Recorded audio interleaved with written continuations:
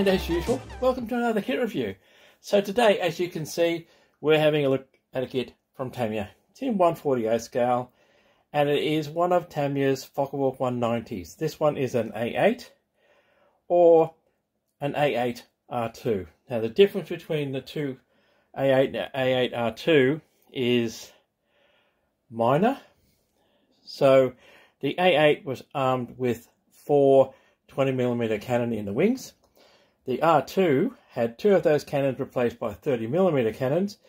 It also had more armor plate on the fuselage to protect the pilot and a 30mm glass on the canopy because these Focke-Wulfs were primarily used to intercept Allied bombers over Germany in the closing stages of World War II. So this kit is kit number 61095. Came out in 2005 and this one cost me $22 Australian. So um, average price for this one is around the 30 to $35 mark, maybe a bit more depending on who's actually selling it. So for $22 I thought, why not? Another Focke-Wulf can't hurt. Alrighty, so this one has some really nice box art, as you can see. He's just finished a pass on two US bombers cutting through over, presumably over Germany. So let's have a look at the rest of the box. On the side, you've got a profile picture of this one here, which is for, let's see if I can bring that one closer for you, Ernst Schroeder, JG300. And on the other side, another profile of Hauptmann Wilhelm Moritz, and he's um, from JG3. So in this particular kit, which is of course standard Tamiya, you do get markings for five different individual aircraft. So let's have a look and see what's in the box. One bag of sprues which contains the fuselage and the lower wing and the bits and pieces, bombs, etc. that you can fit to this aircraft. Some of those you won't use. One bag of clears, two different types of canopy. Another bag has the propeller and other fittings. The last bag, of course, has the upper wings. Another propeller because you can have slightly different versions which had a thinner or a wider propeller the cockpit um, tub, of course, and the wheel well, etc. So, pretty much standard Tamiya. Instructions. What I always like about Tamiya, a 48 scale painting guide for the basic camouflage. This one also includes the decals, etc. for this particular pilot here. So this is, as you can see, Willi Maximowitz, June 1944. So that's his aircraft. On the back, this just shows you where the decals go on the bottom. We'll have a closer look at that anyway. Usual Tamiya tech tips and a really nice decal sheet, which we will have a look at later, including paint masks for the canopy. Okay, so that's what's in the box. In a second, we'll have a look at the instructions and the decals and carry on from there.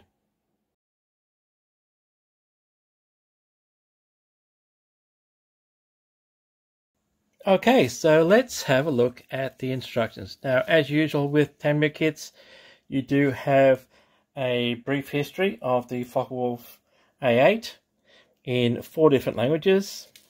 Japanese, German, French, and English. Overleaf, you've got your recommended tools, your paint callouts, which are all Tamiya colors, of course, normal port cautions. Now, in this particular kit, you will notice, and I'll see if I can show it to you, probably easier to show it to you with the canopy. So you'll notice it says A, B, C, D. This is where you make your choice. This one is E. So the differences are minimum only. Um, version, I should say, I'll say version C gets these two additional armor plates for the side of the cockpit. This is version E, which has a piece removed from that particular cockpit. But uh, we'll carry on with the rest of the instructions first. So naturally enough, you do have your cockpit tub goes together first. You do get a pilot with this one. So you do have a choice. You can paint the instruments, but they are also supplied as decals. Or you could get yourself some aftermarkets to suit this aircraft. Then we go on to the construction of the fuselage. Now this here is, I'll see if I can find it for you, these decals. These are the additional armor plate decals for the R8. Um, Tamiya has chosen to use them to supply decals to represent the um, extra armor rather than a piece of plastic or something like that, which is quite unusual. So I'll give you a shot of those individually.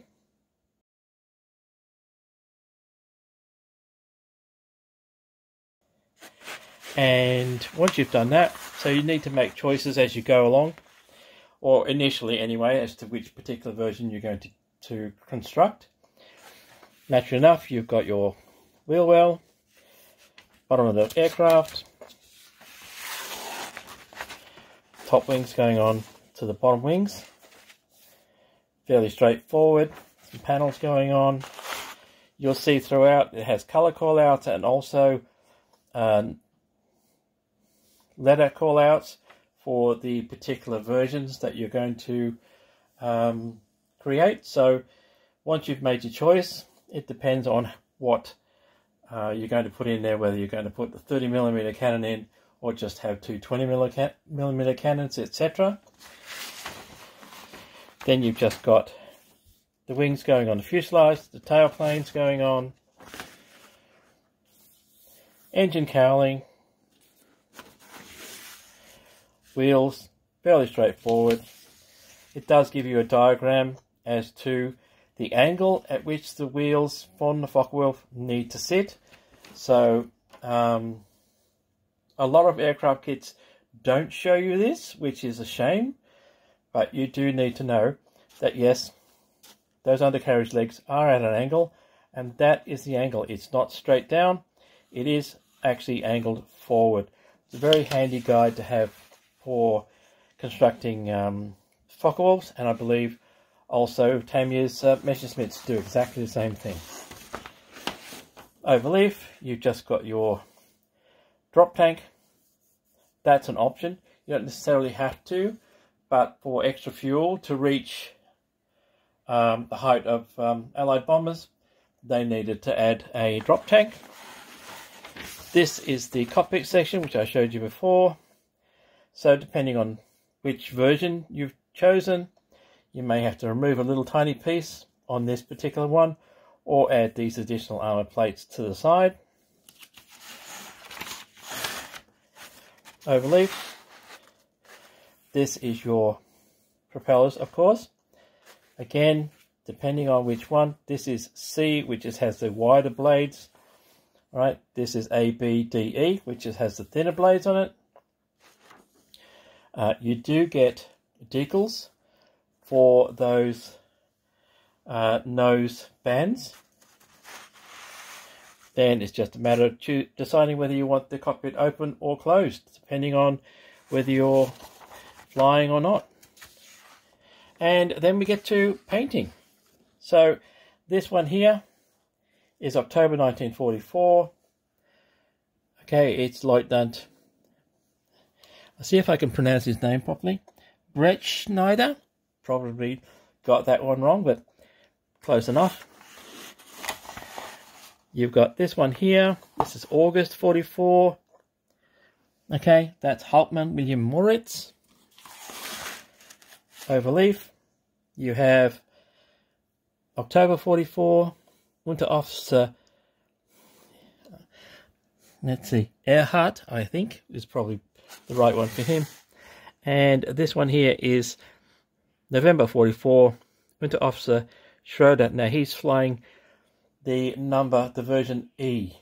All right, so all the other ones are um, A8 R2s. This particular one, E, is just a straight A8. And that's four of them, four of the suggested markings and colours that you could put on there. The fifth one is this one, the one that is the 148 scale painting guide to the camouflage. So all the camouflage schemes exactly the same, same as Spitfires and everything else. They all use the same thing because they all use templates. This one just has different markings. So fairly straightforward. Usual Luftwaffe colours. But this is always a handy guide to have for a 148 scale plane. If you wanted to, you could almost copy at least the wings. Or even if you wanted to destroy this, cut them out and use them as templates on your own model. Alright, so that's the painting guides. And I've already shown you one little decal sheet. So this is the other one. So as you can tell, it has got swastikas up the top there. You'll notice that they're by themselves. That's so that depending on the country that this is model is being shipped to, they can actually be cut off. At this point in time, Australia doesn't uh, ban the swastika, although I believe they are thinking about it. So whether that's going to affect um, model makers in Australia for accuracy, I'm not sure.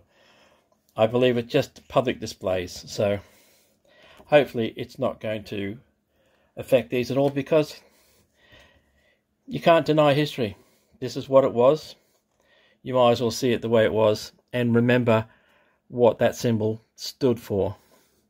So let's have a look at the rest of it. So these are your propeller boss stripes in four different colors. Your fuselage stripes. There are your instrument decals. There are your names for the sides of the fuselage for each individual pilot. And yes, you do get pilot seatbelts as a decal. So really nice set, very clean. I do love these decals. And I'll give you a shot of those.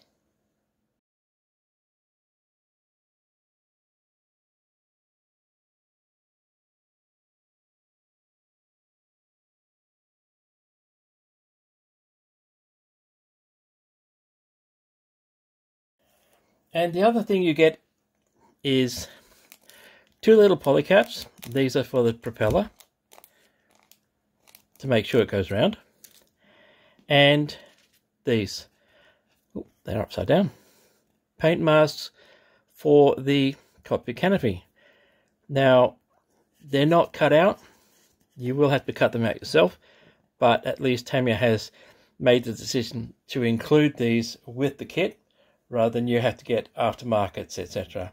So that is a good thing, and I wish most, in fact, I wish all um, aircraft manufacturers would include these with their kits. It would make life a lot easier and probably cheaper.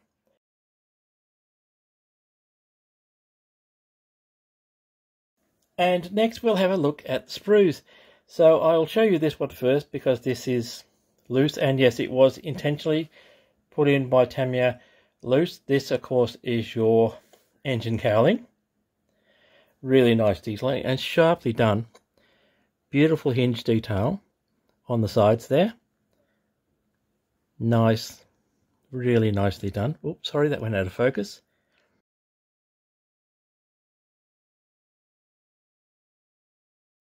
Next, we'll have a look at these. Now, this, of course, is your clears. So, gun sight, front of the cockpit, additional armoured glass for the sides of the cockpit, Now, you'll see you've got two cockpit canopies. This one is not used. This is the one that you use. And depending on the version that you're going to model, you may have to remove that little bit there. But apart from that, nothing else to be done. So that's really nice. And they are nicely clear. Really nicely done. All right, so that's the clears.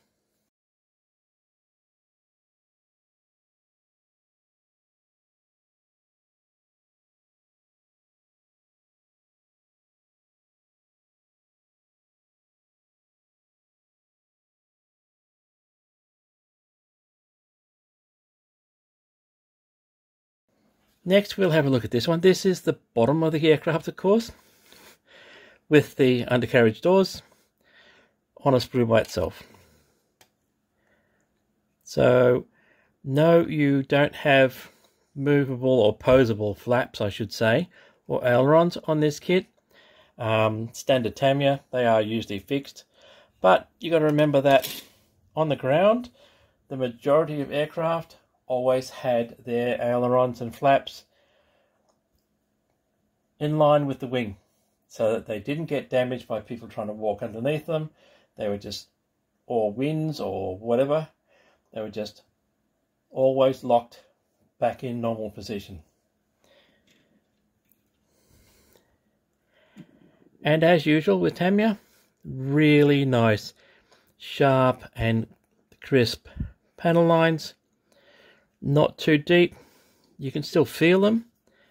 That's just to make them apparent when you use a panel wash. Of course, on real aircraft, you can't actually see. Well, you can't see them. You can't feel them because they're always butted up hard against each other. But beautifully done. Really nicely done. So that's the bottom wing.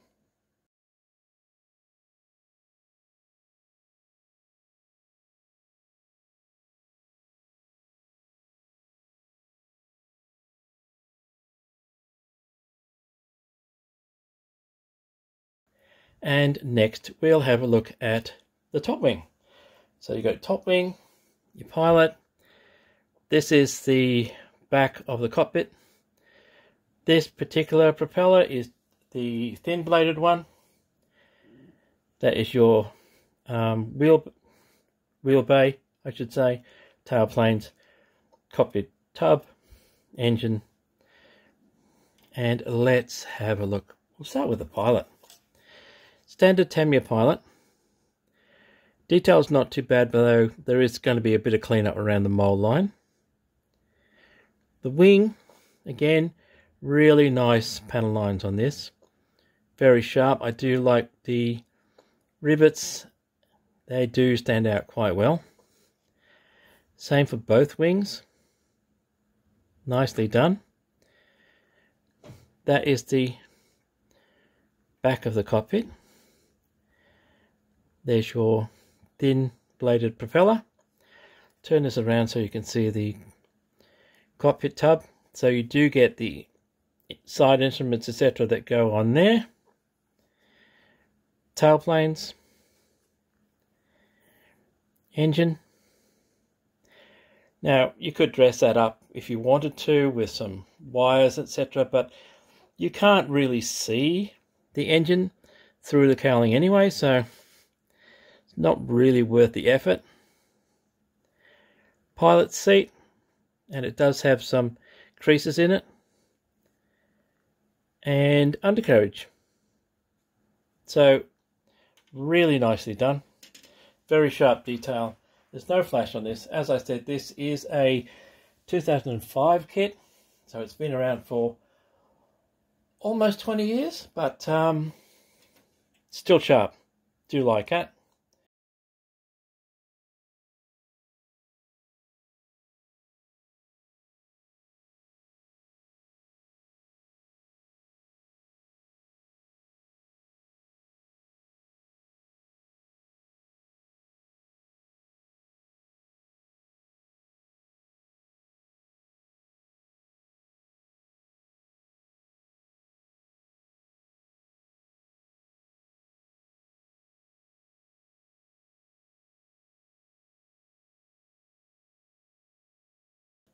And the next sprue out is, of course, the fuselage.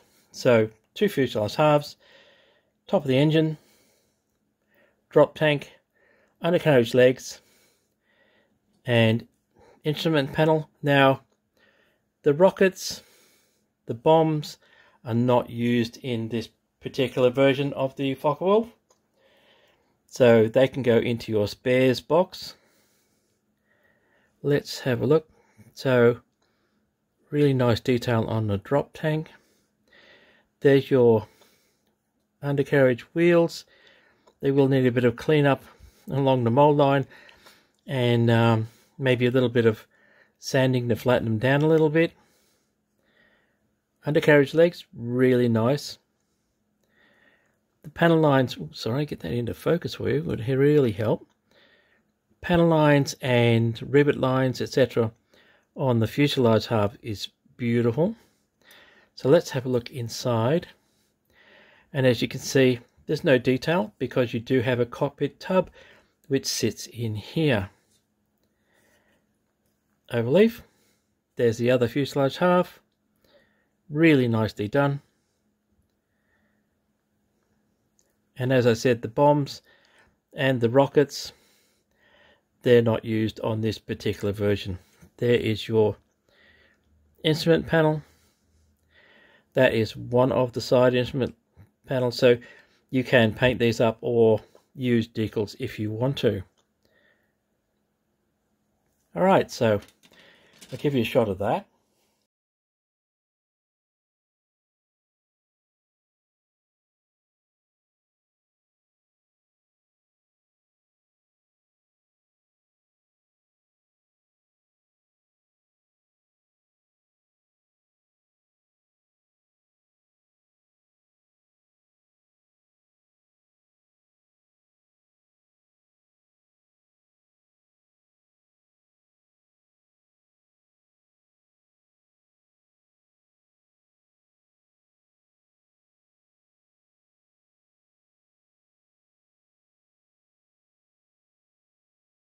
And the last sprue is this one.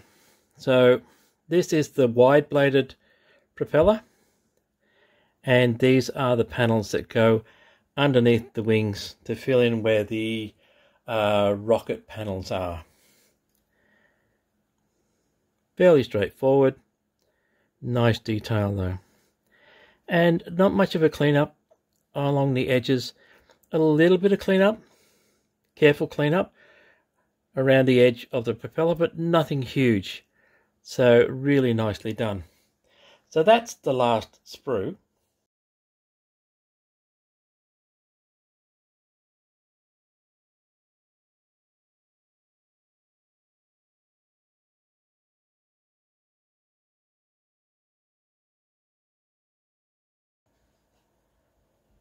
And that's it, guys. That is Tamiya's 148 scale Focke-Wulf 190 A8 or A8R2. Kit number 61095 came out in 2005.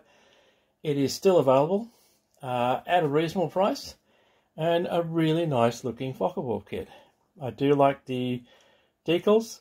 They're fairly comprehensive and it does give you a variety of uh, pilots that you could model this aircraft for. So, anyway, as I said, that brings us to the end of this review. Thank you for watching. Thank you for your likes, your comments, and, and subscriptions. They are all appreciated and very, very welcome. And as usual, guys, because this is the end of the video, until next time, stay safe, stay well, and I will see you later.